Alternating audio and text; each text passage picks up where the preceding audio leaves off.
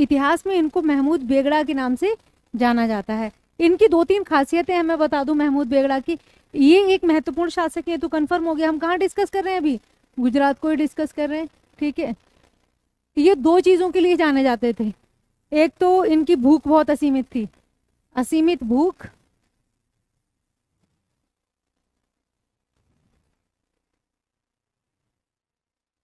यानी कि इतना भोजन खाते थे ये रात को जब सोते थे तो रसोईया रात के लिए अलग से खाना बना के रखता था।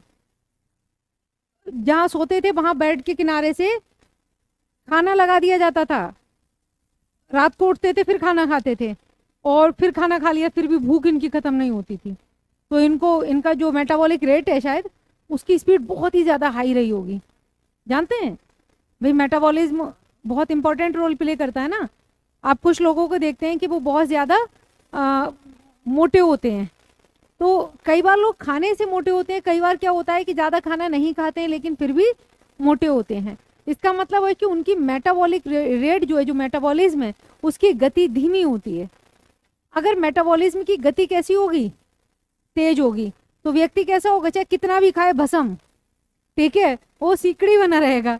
ठीक? लेकिन अगर मेटाबॉलिक रेट कैसी है लो है तो वो फैट को डाइजेस्ट नहीं कर पाता है। तो जो हमें ये कहा जाता है कि आप वर्कआउट करो वॉक करो योगा करो, इन सब चीज़ों से क्या होता है कि मेटाबॉलिक रेट हाई हो जाती है, बढ़ जाती है। जो कुछ आप ऐसा सब्ज़ियाँ खाओ फ्रूट खाओ, इन सब चीज़ों से भी फ़र्क पड़ता है डाइजेशन अच्छा होता है तो मेटाबॉलिक रेट आपकी हाई रहती है। अगर आपका मेटाबॉलिक बैलेंस लाइफ में बना रहा तो पूरी ज़िंदगी बैलेंस हो जाती है। है ना? नहीं तो देखते हैं सर्दियों में कुछ लोग मोटे हो जाते हैं।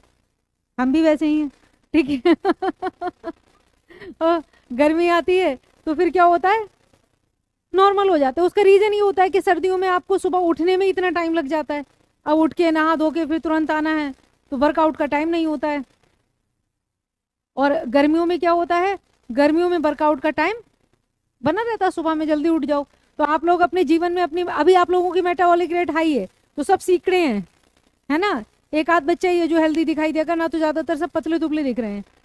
मगर जैसे जैसे आपका उम्र बढ़ेगी और आपका खाना बढ़ेगा और गतिविधियाँ कम होंगी तो फिर आप बन जाओगे मोटू। लेकिन महमूद बेगड़ा मोटू नहीं थे। महमूद बेगड़ा जितना खाते थे, इनकी मेटाबॉलिक रेट इतनी हाई थी, सब डाइजेस्ट कर लेते थे। So he is very powerful बहुत ही ज़्यादा मसल्स मैन था ये। बहुत लंबा, चौड़ा, विशाल का है। भाई, बंदा आया राज्य कर रहे खाने के लिए। समझ रहे हो? सुबह उठते ही ज़बरदस्त नाश्ता लगा होता था। आने दो। फिर दोपहर का ज़बरदस्त खाना, बीच में, मिड में खाना। फिर दोपहर को शाम के बीच, खाने के बीच में एक अच्छा खासा मील फिर शाम को खाने के बाद भी रात में खाना रखा जा रहा है, महाराज को भूख लग जाएगी। इसके बाद भी महमूद बेगड़ा की एक और खासियत थी कि अगर इनके शरीर पर मक्खी या मच्छर बैठ गया तो वहीं मर जाता था। हाँ? क्यों मर जाता था? वो इसलिए मर जाता था कि महमूद बेगड़ा को बचपन से ही थोड़ा थोड़ा विष देकर पाला गया था। ये राज परिवारों में होता था, जब खतरे होते थे किससे? शत्रुओं से। ठीक है? तो विष दे के पाला जाता था तो जैसे विष पुरुष, विष कन्या, है ना? तो कोई विष कन्या आके इनको डस न ले। इसलिए खुद इन्होंने अपने अंदर उतार लिया विष, ताकि इनको न ले कोई डस है ना? तो इनके शरीर पर अगर मक्खी बैठ गई, अपनी जान से गई। अब मैं आपको एक छोटी सी बात सुनाऊँगी। अब मेरे पास तो गाँव वाली जब बातें ज़्यादा होती हैं। जब हम छोटे थे हमें पड़ोस में एक दादा दादाजी थे अब तो नहीं है वो। और बहुत बहुत ही अच्छे रिलेशन हम लोगों के। आ, मतलब पूरे परिवार के रिलेशन इतने अच्छे कि हम लोग दादा ही कहते थे उनको दादा माने दादा दादी बुआ सब। ये तो आज की दुनिया बड़ा प्राइवेट हो गई। तो एक बार क्या हुआ कि उनको वो हो गई एलर्जी खुजली हो गई। और ये बड़ी भयानक चीज़ होती है। अगर ये एक बार हो जाए ना तो ये ये हाँ एक से दूसरे में भी फैल जाती है। फाइनली उनको इतनी ज़्यादा हो गई कि वो परेशान हो गए। दवाइयाँ खा खा के ये वो, अब गाँव वाला आदमी दिमाग तो ज़्यादा लगाते नहीं है। किसी ने कह दिया कि गेहूँ में जो पाउडर डाला जाता है, आप क्या करो, वो पाउडर अपने शरीर पे लगा लो तो आपकी सारी एलर्जी खत्म हो जाएगी। जहर जहर को मारता है, गाँव का आदमी। लोया लोहे को काटता है। दादाजी ने, आओ देखा ना ताओ। पाउडर ले आओ। पाउडर क्या होता है? सल्फात की पिसी हुई गोलियाँ होती हैं। ठीक है, बहुत भयानक जहर होता है। हालाँकि अब तो शायद प्रतिबंधित होने लगा है वो। और उन्होंने क्या किया? अपने शरीर पर उसको मल लिया। और उसके बाद में जो आग फैली है शरीर पे, फिर तो गाँव में अच्छा तो ये था कि ट्यूबवेल चल रहा था और लाइट भी चल रही थी। फिर तो वो भागे और कुंडी में जाके कूद गए। हैं लमिया तूने मेरे साथ क्या कर दिया? ठीक है, और कम से कम दो तीन घंटे वो उसमें पानी में रहे, पानी पड़ता रहा ऊपर और समझ लो आग नहीं जा रही थी शरीर की। उसके बाद उनके साथ एक क्या घटना हुई कि गर्मियों में अगर मच्छर शरीर पे बैठता था, मच्छर मर जाता था। मक्खी मर जाती थी। नहीं, ये ये सच्ची बात है। ये आप लोग मज़ाक मत समझना। तो दादाजी बन गए विश्व पुरुष। लेकिन आंशिक विश्व पुरुष बन गए। ठीक है? तो खैर, बुढ़ापा था, ना दादी निकल लेती ठीक है? अगर दादा ने मतलब लड़ाई झगड़ा हो जाता, नाखून मार देते, बुढ़ापे में आदमी का गुस्सा कंट्रोल हो जाता है ना फिर। तो फिर इसलिए जो है, महमूद बेगड़ा दो चीज़ों के लिए मशहूर थे। एक तो असीमित भूख के लिए और दूसरे इनको विष देकर पाला गया था।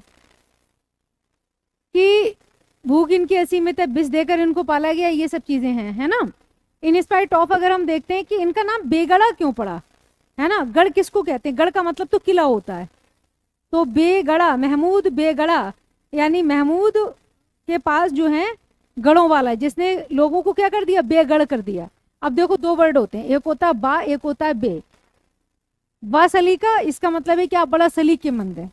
भाषाएँ भी अपने आप में बड़ा अनोखी होती है। बे सलीका, इसका मतलब है आप सलीकेमंद नहीं है। अब किसी को दूसरी भाषा की जानकारी ना हो, है ना? तो एक बार क्या हुआ, हमारे नौकर रामलाल आए, फल की टोकरी लेकर आए।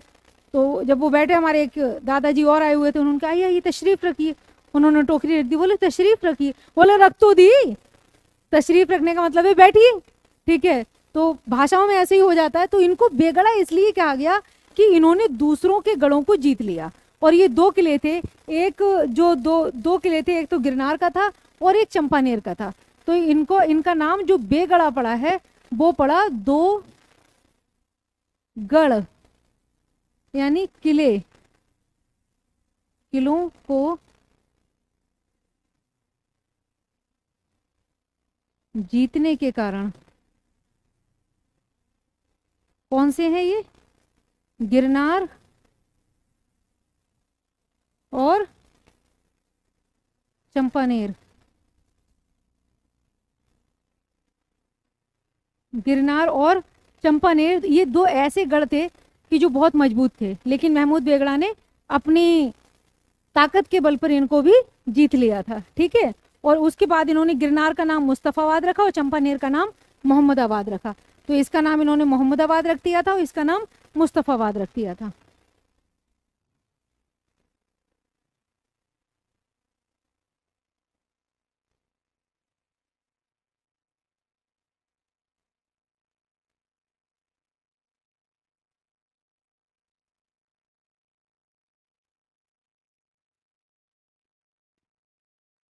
महमूद बेगड़ा की एक और खासियत थी कि ये बड़ा दयालु किस्म के व्यक्ति, उदार थे, दान बहुत दिया करते थे।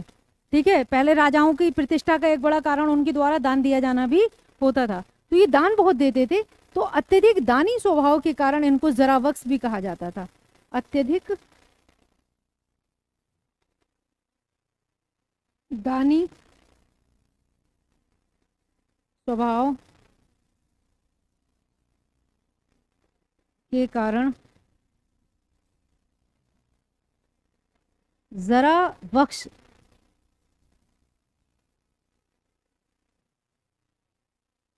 जरा वक्स या जर वक्स आपको जर से मालूम है? जर किसको कहा जाता है? जर जोरू जायदाद। जर कहा जाता है माल को, धन को। आ रही है समझ में? तो जर वक्स या जरा वक्स जरा देने वाला। यानी कि अगर आप कहीं, कई जगह आपको जर वक्ष भी लिखा हुआ मिलेगा। ठीक है? तो धन का दान करने वाला इस कारण इनको जरा बख्शी के नाम से भी जाना जाता था। ठीक है? इनके बहुत ही मीठा स्वभाव था। इसके कारण लोग इनको करीम भी कहते थे। यानी कि करीम, करम करने वाला, है ना? तो लोगों के साथ इनका व्यवहार काफ़ी अच्छा भी रहता था। मिस्र के एक बहुत बड़े विद्वान थे और उनका नाम था बदरुद्दीन दमामिनी। ठीक है? कहाँ के थे? मिस्र के। बद्र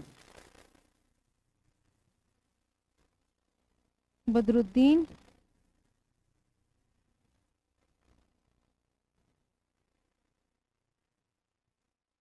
दमामिनी, ठीक है? तो ये जो बदरुद्दीन दमामिनी थे, ये मिस्र के थे। इनका कोटेशन लिख लीजिए। इनका कोटेशन लिखिए आप कि डैश करके महमूद बेगड़ा महमूद बेगड़ा मैंने ये लिख दिया है। बदरुद्दीन दमामिनी मिस्र के थे, ये इनके दरबार में आए थे। और उन्होंने इनके विषय में लिखा या इनके बारे में जो उन्होंने सुना, इनकी उदारता के विषय में तो उन्होंने लिखा था कि ये विद्वानों में सुल्तान और सुल्तानों में विद्वान शासक थे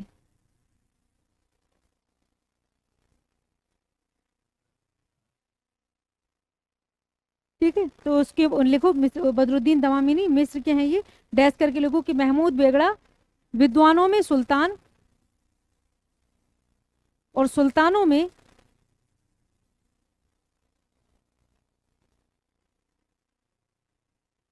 विद्वानों में सुल्तान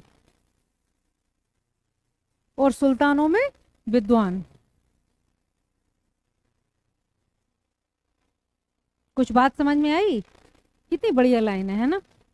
विद्वानों में औरों के लिए भी कहा गया है। ये कहा गया है, उसके लिए, मोहम्मद बिन तुगलक के लिए भी कहा गया है कि वो सौ पंडितों का सिरोवस्त्र तो सौ वस्त्रों का, सौ पंडितों का सिरोवस्त्र अपने सर के नीचे रखा करते थे। तो पर्टिकुलर ये इनके लिए होता था, जैसे कई बार है तो लोग लिख भी देते हैं सिंपली, बट इनके लिए एग्जैक्टली ये यूज़ किया गया है कि ये विद्वानों में सुल्तान, यानी कि जो विद्युत, विद्यु, विद्वान वर्ग है, उसमें ये सुल्तान थे और सुल्तानों में क्या थे? विद्वान थे, ठीक है? तो ये इन्होंने कहा है मिस्र के साथ इनके बड़े अच्छे रिलेशन रहे। मिस्र की सहायता से इन्होंने पुर्तगालियों से युद्ध भी किया। ठीक है, उस टाइम तक पुर्तगीज भारत में आना शुरू हो गए थे। पुर्तगीज कब आए हैं? चौदह में आए हैं। ठीक है तो ये बाद के समय में इन्होंने पुर्तगीज जो है वो यहाँ पर आना शुरू हो गए हैं। उनके साथ युद्ध भी किया है, ये सब लगाया। अब महमूद बेगड़ा का अगर हम व्यवहार देखेंगे तो हमें ये कैसे शासक दिखाई देते हैं? ये भी थोड़ा हमें जो है वो धार्मिक रूप से, धार्मिक रूप से कट्टर। ठीक है? कट्टर क्यों दिखाई देते हैं हमें ये? क्योंकि इन्होंने धार्मिक रूप से कट्टर है, क्योंकि उन्होंने हिंदुओं पर जजिया कर लगाया था। ये वेरी इंपॉर्टेंट फैक्ट है, इसको लिख दीजिए। हिंदुओं पर जजिया।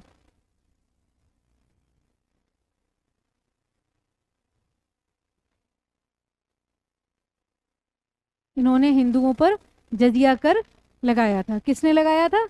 महमूद बेगड़ा ने। ठीक है? अच्छा ये विद्वान है, विद्वानों का सम्मान भी करते थे। तो इनके दरबार में एक विद्वान रहते थे, जिनका नाम था उदय राज। उदय राज ने एक ग्रंथ लिखा है, जिसका नाम है राजा विनोद। एक्चुअल में अगर जो राजा विनोद उन्होंने लिखा है, वो क्या है? वो महमूद बेगड़ा की जीवनी है। ठीक है? तो इसमें लिख दीजिए आप कि उदय राज ने राजा विनोद नाम से, एक ग्रंथ का नाम है राजा विनोद। उदय राज ने राजा विनोद नाम से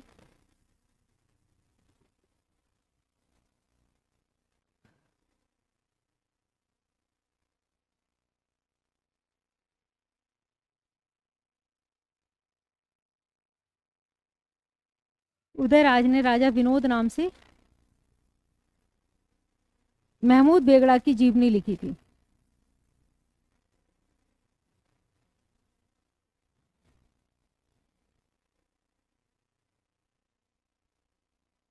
ठीक है?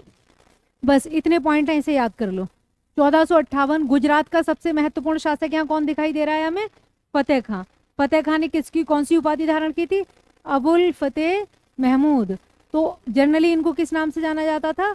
महमूद बेगड़ा। क्यों कहा जाता था बेगड़ा? क्योंकि इन्होंने दो गढ़ किलों को जीता था। कौन से? गिरनार और चंपानेर। यानी दूसरे लोगों को गढ़ों से बेगड़ कर दिया। तो इनका नाम पड़ गया महमूद बेगड़ा बेगड़ा करने वाला। ये किस लिए? असीमित भूख के लिए। जब ऑप्शनल हुआ करता था हिस्ट्री तो ये पूछा जाता था कि गुजरात का कौन सा शासक है जो अपनी असीमित भूख के लिए जाना जाता था? तो इट वॉज़ महमूद बेगड़ा। ठीक है? हाँ। इनको जरावक्ष भी कहा जाता था। क्यों? क्योंकि ये बहुत ज़्यादा दानी थे। जर का मतलब आ गया समझ में? कहते हैं जर जर मतलब खजाना, पैसा। बदरुद्दीन दमामिनी, जो मिस्र के एक लेखक है, इन्होंने इनके विषय में क्या कहा है? कि ये विद्वानों में, सुल्तान और सुल्तानों में विद्वान शासक थे। ठीक है? इनके दरबार में उदयराज नाम के एक विद्वान लेखक थे, जिन्होंने राजा विनोद नाम से इनकी जीवनी लिखी है। धार्मिक रूप से इकट्ठर है क्योंकि इन्होंने हिंदुओं पर जजिया कर लगाया है। ये इंपॉर्टेंट फैक्ट हो जाता है। यहाँ तक महमूद बेगड़ा का काम पूरा हो गया बस। अब इनकी मृत्यु के पश्चात इनके पुत्र जो हैं, जलील खां, मुजफ्फर शाह द्वितीय के नाम से शासक बने। ठीक है, लेकिन उनका कोई खास उनके समय की चीज़ें नहीं है। बाद में जुलाई 1526 में, बस एक सीक्वेंस में लिख दीजिए, एक लाइन में लिख दो बस, कि महमूद बेगड़ा की मृत्यु के पश्चात इनके पुत्र महमूद बेगड़ा की मृत्यु के पश्चात इनके पुत्र जलील खां हाँ जलील खां मुजफ्फर शाह द्वितीय के नाम से शासक बने। अब तुम लोग मुस्कुरा रहे हो, कहते हैं ना कि कितना बड़ा जलील आदमी है है ना? लेकिन इसका मतलब वो अलग हो जाता है वहाँ। इन्होंने महमूद बेगड़ा का जो टाइम पीरियड है, चौदह सौ अट्ठावन से पंद्रह सौ ग्यारह, ठीक है? चौदह सौ अट्ठावन टू पंद्रह सौ ग्यारह। अच्छा मैंने लिखा नहीं है ना यहाँ पर? पंद्रह सौ ग्यारह। इन्होंने चौदह सौ अट्ठावन से पंद्रह सौ ग्यारह तक शासन किया है। चौदह सौ अट्ठावन फिफ्टी एट से। और पुर्तगाली कब आए हैं चौदह सौ अट्ठानवे फोर्टीन नाइन्टी एट में। तो इनकी मृत्यु पंद्रह सौ ग्यारह में हुई, इसलिए इनका पुर्तगालियों के साथ में संघर्ष चला। तो ये तो हो गया कि गुजरात के शासकों का जो है वो पुर्तगालियों के साथ में एक दुश्मनी बन गई। क्यों बनी? गुजरात कहाँ पर है? अरब सागर के तट पर। पुर्तगीज कहाँ पर आ रहे थे? अरब सागर के तट पर। तो व्यापार को लेके पूरा झगड़ा वहाँ पर मौजूद है। चलिए आगे देखते हैं इस झगड़े का क्या परिणाम निकलेगा। तो हमें ये समझ में आ गया कि इस वंश का महत्वपूर्ण शासक महमूद बेगड़ा महमूद बेगड़ा की मृत्यु के पश्चात उनके पुत्र जलील खां मुजफ्फर शाह सेकेंड के नाम से शासक बने। और ये थोड़े बहुत बीच में फिर गड़बड़ियाँ रही। अगला महत्वपूर्ण शासक आएगा इसमें बहादुर शाह, ठीक है? जुलाई 1526 में बनेंगे कौन? बहादुर शाह।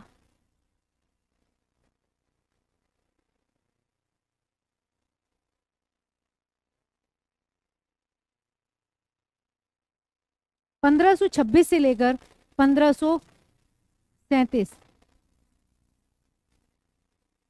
ये नोटेबल हैं। क्यों नोटेबल हैं?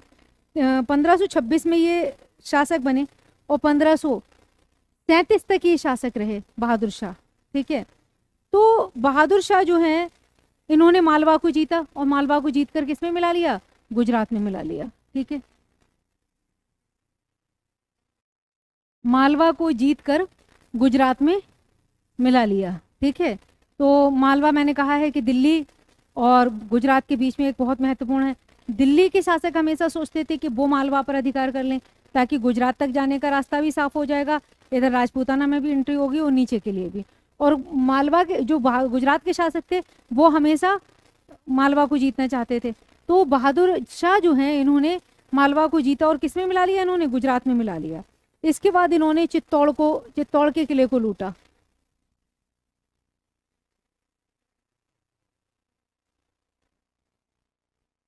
चित्तौड़ को लूटा। यानी चित्तौड़ पर आक्रमण किया तो राजा तो फिर वो अंदर चले जाते हैं, मगर बाकी का जो नगर बचा, किले के बाहर का तो वहाँ पर लूटमार की इन्होंने। ये जिस समय ये शासक बने, अब बहादुर शाह का टाइम देखो, कब से कब तक है? 1526 से पंद्रह जरा याद करो रिकॉल करो। पानीपत का प्रथम युद्ध कब हुआ है? 1526 में। कौन आ गया दिल्ली में? बाबर। है ना? तो बाबर शासक बन गया लेकिन ये कब तक रहे? सैंतीस तक। तो बाबर तो चार साल ही शासन रहे, फिर कौन आ जाएगा? हुमायूं। ठीक है, चौंतीस पैंतीस में हुमायूं भी निकल जाएँगे। तो कुल मिलाकर अगर हम देखेंगे तो बहादुर शाह जो हैं, ये इन, जब ये गुजरात के शासक है, उस समय में दिल्ली में कौन रहे पहले? बाबर और हुमायूं। तो ये किसके समकालीन हो गए? बाबर और हुमायूं के, एक लाइन में लिख दीजिए। ठीक है, कि ये बाबर और हुमायूं के समकालीन थे, मुगल शासक। ये मुगल शासक बाबर और हुमायूं के समकालीन थे। ठीक है? तो बाबर से इनका जो है हुमायूं के साथ भी संघर्ष चला। तो एक बार हुमायूं ने मालवा पर अटैक कर दिया। कुछ समय के लिए गुजरात को भी जीतने में कामयाब रहा। तो लेकिन जब तक बहादुर शाह रहे तो वो उस पर पूरा नियंत्रण नहीं कर पाए तो हुमायूं ने एक बार मालवा को भी जीता था और गुजरात को भी जीत लिया था। लेकिन थोड़े समय के बाद ही ये दोनों को फिर से बहादुर शाह ने स्वतंत्र करा लिया था। तो लिख लीजिए नीचे एक लाइन में कि इनका मुगल शासक हुमायूं के साथ संघर्ष हुआ।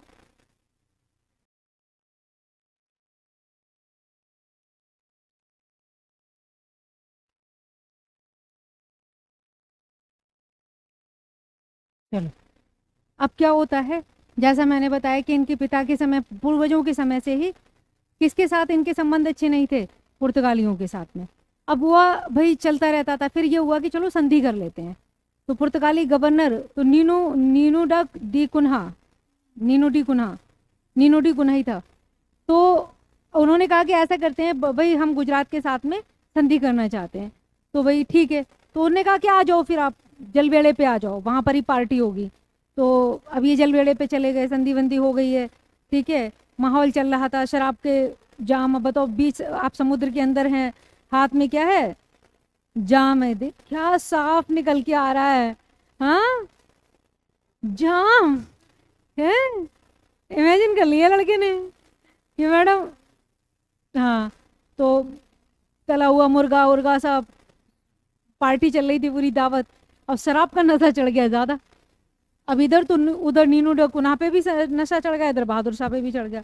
बहादुर शाह ने कहा, तुम विदेशी समझते क्या हो अपने आप को? है ना, हम तुमको कुछ नहीं समझते तो नीनू डकुना ने कहा, हम भी तुमको कुछ नहीं समझते। ठीक है, इसने कहा, हम तुमको पैर की जूती भी नहीं समझते। उन्होंने कहा, हम भी तुमको कुछ नहीं समझते। कुल मिलाकर बात इतनी बढ़ गई कि शराब के नशे में दोनों आउट ऑफ़ कंट्रोल हो गए और इनमें गुत्थम गुत्ता हो गई। मल्ल युद्ध में सारी दावत तो एक तरफ़ रह गई, कुश्ती होना शुरू हो गई वहाँ पर।